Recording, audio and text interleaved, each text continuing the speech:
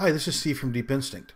Over the next couple of minutes, I'm going to talk to you about one of the newer strains of ransomware that we're seeing impact many different industries called NetWalker and how Deep Instinct can help. NetWalker is a type of ransomware that's fairly sophisticated in the way that it operates, the way that it targets specific files, the way that it essentially is looking to ensure the attacked or the victim feels like there is no other option other than to pay the ransom. So I pulled just three quick examples. Ontario Nurses College was hit by the ransomware. Equinix was hit by NetWalker this past week, and then the government of Argentina was was a victim of NetWalker, where they demanded four million dollars in ransom. So this is this is no joke. This is some serious ransomware. So what I'm to do now is I'm to hop over into our product, and we're going to take a look at how Deep Instinct handles this NetWalker ransomware. So if this is your first time taking a look at Deep Instinct, let me explain a little bit about our solution. We are an agent-based solution that uses deep learning to identify and prevent threats from impacting your environment. So for this example, I actually had to disable the prevention capabilities of Deep Instinct in order for me to even download the file. And the reason I had to do that is because our analysis of files occurs pre-execution or what we call zero time.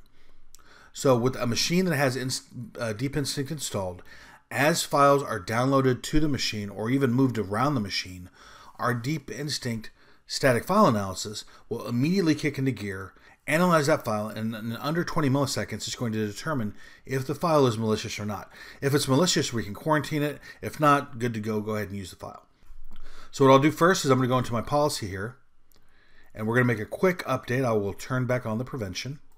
I want to highlight one other thing about our solution. So we do produce about two different brain, what we call deep brains, or this is our deep static, deep learning static file analysis model.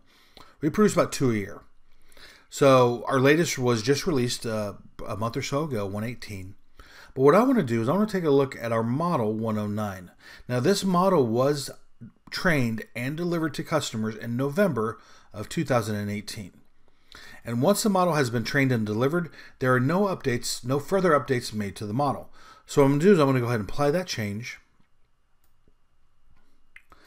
And what I'll do is I'm going to just all I have to do is go to my update. Right now I was in detect only as I mentioned, but we're going to go ahead and apply that update so that you'll see it's going to change to detect and prevent. Okay, here's the here is the sample of NetWalker, and all I really need to do is try to move it somewhere. So I'm going to copy it and I'm going to try to paste it to my desktop. So immediately the file was blocked. So to recap, this was the sample that we just looked at of NetWalker ransomware.